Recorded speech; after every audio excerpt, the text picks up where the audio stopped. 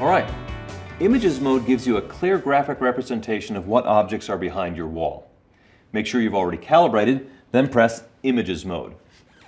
Keeping your Walabot firmly against the wall, move it slowly over the area where you're looking for objects. And voila, the Walabot found a stud.